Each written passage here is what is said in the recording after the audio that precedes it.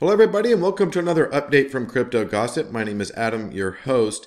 We've talked about the Cosmos ecosystem and the airdrop opportunities that we're getting now by staking some of the tokens from this Cosmos ecosystem. It's really a hot narrative for this cycle, and Cosmos has really created a lot of buzz and has really grown a lot in this last uh, cycle, just because I think the excitement around airdrops has been a big narrative, and a lot of these projects are building a layer one opportunities on top of the Cosmos platform. And so you see a lot of this buzz with Injective, with Celestia, and all that have come out here recently. I did a full guide on staking uh, these different tokens that you see here on my spreadsheet. But I wanted to talk specifically today and do a deeper dive into Celestia or TIA and it went live, Celestia went live in late October, early November with an airdrop type format to people who had been uh, staking these tokens and some other uh, airdrop uh, opportunities there. Uh, you know, back earlier last year, so a lot of people didn't qualify, and it was kind of a missed opportunity for a lot of people because Celestia came out at two dollars a token and then a lot of people dumped it like they do with airdrops and now you can see it's sitting at $16 today done quite well. And now people are starting to see a lot of other projects building on top of celestia and announcing airdrops for tia stakers. So i want to make sure you're aware of this in more depth and also wanted to provide you with an opportunity to talk about milky way and their first liquid staking TIA platform and some opportunities to earn even more airdrops through doing some of that work on Milky Way as well. So you can look overall comprehensively at my staking plan that I had and where I'd laid out some numbers that you could look at if you wanted to have a base level of tokens across these different, um, you know, different Cosmos ecosystem tokens like Cosmos itself, Atom, uh, Osmosis, Celestia, Injective, and Kujira. Um, you can see that this base level is where you you, you know, their main minimum recommendation would be to own tokens. But for Celestia, we'll just go ahead and go specifically to Celestia. You can see that really we're looking at, if you're just really trying to get into that very foundational level of participating in these airdrops with Celestia, a recommendation of a minimum of 20 TIA tokens up to 25, 30, and as much as 50 being on the aggressive end from all the different folks that I follow and different people who have suggested different amounts and also looking at some of the amounts that people have, eh, have said and projects have said you need to be staking to qualify. I've seen as I've seen anywhere from one TIA qualifies you for an airdrop or qualification. I've seen 23, you know, but, but there's some other ones like alt layer that's been announced that they that they're thinking it might be higher. So definitely the more you stake, the safer you're going to be in ensuring these multiple airdrops. Others will say a minimum of $100 worth of a token as of the snapshot date. So something to think about in terms of how you want to get involved. And already we've seen with these airdrops with Celestia, we had Dimension that I've covered in a post that's already too late to go out and claim your Dimension, but that's one of the tokens, Dimension, that's coming out soon. That if you're a TIA staker in early December, I, believe was the cutoff there, maybe it was December 19th or so, uh, I was able to qualify for that because I started in early December. Dimension is one that's coming out soon. Saga is a gaming token on the Cosmos ecosystem that named TIA stakers on their list. We have Alt Layer that just announced that TIA stakers are included there, but we don't know those thresholds yet. Hava Coins, another one that just came out on Twitter and announced if you're a TIA staker, you qualified. Uh, Soarchain is what I've covered comprehensively as well recently, like DIMO, a plug and play device for your car announced that TIA stakers would be participating and all those info that those details aren't available yet on what that looks like but Movement Labs, you know, Avo is another one that just announced a partnership with Celestia. Manta Network is built on Celestia. No announcement there from Manta, but potential there. Fuel Network, and then Milky Way. We'll talk about it more depth. But every day, I could I could do an update every day on all the new announcements of tokens that are announcing some potential teaser for Celestia. That's why I think it's done so well here recently because it's just a great opportunity to an easy way to buy and hold. So in terms of just before we get into the Milky Way opportunity, just that basic level of fundamental, how do I get started with Celestia uh, staking? It's really easy about you just download the Keplr wallet onto your browser uh, or uh, there's also a mobile app as well. You can do a lot of the functionality. And with Celestia, you can see there's a lot of the uh, ecosystem there that I have saved or favorited in Keplr that's all part of Cosmos. And Celestia is as easy for me personally. I buy a TIA on Coinbase and then I can just send it to my wallet. And then and each um, each one of these chains has its own wallet. So make sure you, you select your own Celestia wallet uh, when you're doing that transfer from Coinbase or another exchange. Or you can buy Atom and one of the other tokens and then swap it in for Celestia. But once you have Celestia in your wallet, you've sent that from Coinbase or another exchange, you'll see that the balance that you have here. I, I'm now doing personally 25 uh, TIA, kind of in that mid range, trying to add more as we go.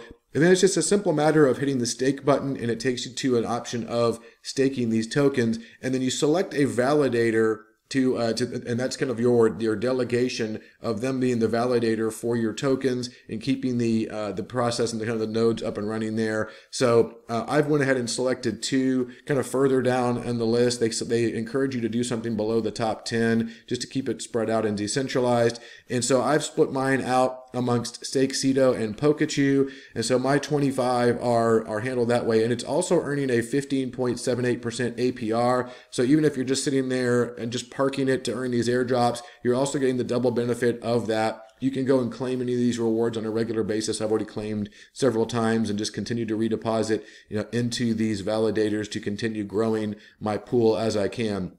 So pretty easy to go ahead and, and do that. So if you're just looking at staking Celestia for these rewards and keeping up with that, that's really all you need to do. One last tip on income when it comes to those fundamentals is that I, have talked about this in my last video with Cosmos. This works for the entire ecosystem, but for Celestia specifically, you've got Leap Wallet, which is another competitor to Keplr. You can either import your Keplr wallet into uh, Leap Wallet, which is what I've done, or just connect the wallet and it gives you the same information and it gives you a full portfolio view. It gives you a view of everything you've got staked, etc. But for the purposes of airdrops, another not useful tool if you do uh, just stake Celestia and you're not real active on Twitter and keeping up with airdrops, you'll want to go into this airdrop tab of Leap Wallet. You can autofill your Cosmos address and it, it will capture the entire ecosystem, including Celestia, you know, Injective, all of those others, and give you a, you know, there's a list of active airdrops that you can see are out there now. You see the dimension when I've talked about. A lot of these others were older airdrops that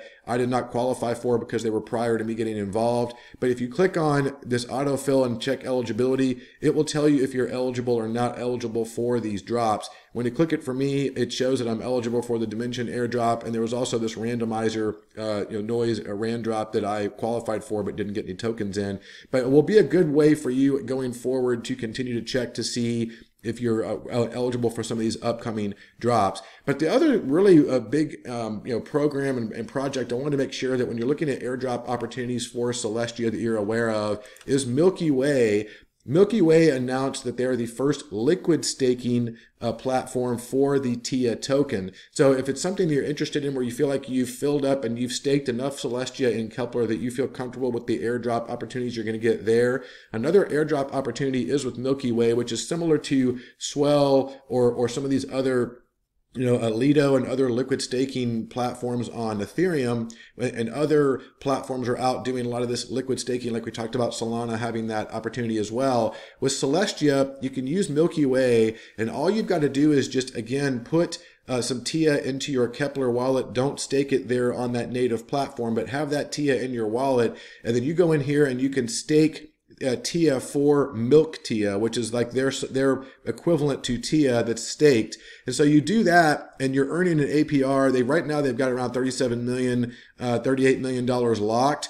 And that the the APR for just leaving it staked in there is 14%. So pretty nice little return just by doing that. But like other liquid staking options, if you pull out, if you stake your TIA and get milk TIA, you actually then have something that while you're staking it, you can use that milk TIA for other DeFi opportunities and continue to grow the ecosystem. And they have said now here recently on Twitter, probably nothing here recently in the last few days, earn milk points and gain rewards. There's been a lot of talk about them saying that they're going to come out with their own token and airdrop so there's some farming opportunities there as well, in addition to this, the staking. So when you look at, well, how can I get involved and earn points? It would probably just come from just staking this on this platform. It'll be one way to earn points, but another way to earn points will be by actually doing something with the milk TIA that you are able to accumulate through the staking process.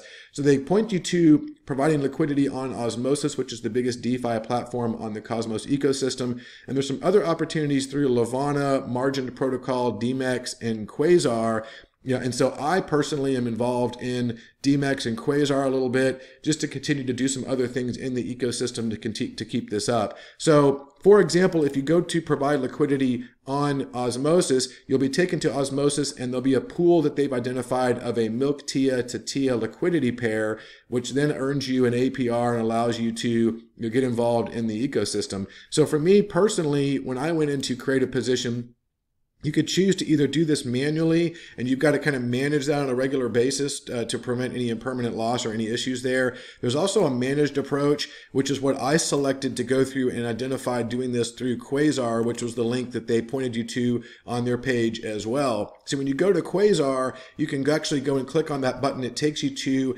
a, they actually manage your deposit and your liquidity in this pairing on Osmosis in a professional way so that you're not having to mess with it on a day to day basis. Put a little bit of some Tia in there and milk Tia and did some liquidity, you know, farming with you know, about 12 TIA tokens, so a couple hundred dollars worth. And so when I, I, you can see where I just deposited, you know, that into the pool. You can see right now they still have a little bit of room left. They just recently raised their cap to provide for more room on here. And so they're running this vault you know, in a self-managed, automated way where you're not having to deal with this yourself. I can claim the uh, the, the, earnings that I'm getting from this and deposit or withdraw at any point that I want to. They do have other vaults in here. Quasar has some other vaults that they manage where you can get involved in other pools as well. It's a DeFi protocol. They might have their own airdrop at some point that you would qualify for if you do this. So just a little bit of a double benefit here. And the other one is Demex, where it's another similar platform. Reminds me a lot of like Kamino or or MarginFi that we've talked about with Solana, where you go in and you deposit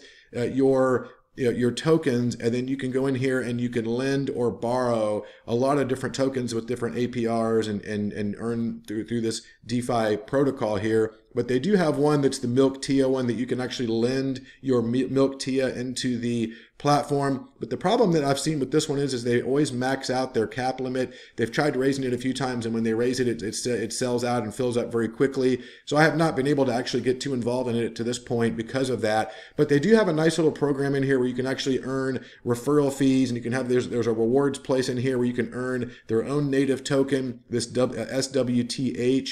And so that there is an opportunity to kind of get more involved and there may be some additional airdrops and opportunities there as well. So overall, you know, just wanted to make sure that you knew about this deeper dive into Celestia, but also uh, this kind of discovering kind of Milky Way and this opportunity to earn, you know, their points and their rewards for their platform as well as Demex, Quasar, and some others. So just another way to get involved in the ecosystem. I think my advice would be to try to maximize your TIA staking just through Keplr first to make sure you're qualifying for all those other airdrops we saw on the list. And then if you have any extra you want to play with and have some have some fun with with Milky Way, also staking with them and their other protocols, want to make sure you're aware of that. And, and as I've been updating this myself and checking it, you know, th- these, they've added a couple of new ones here recently. So this is going to continue to this whole uh, ecosystem underneath Celestia through Milky Way is going to continue to grow on its own as well and provide maybe some other opportunities for you to get involved. So I wanted to make sure you saw this for today. Make sure you like and subscribe to the channel for this type of content. I'll keep you updated on the Celestia journey, the Cosmos ecosystem journey, airdrop opportunities, and the other cryptocurrency projects we cover. Thanks have a good rest of the day and the week.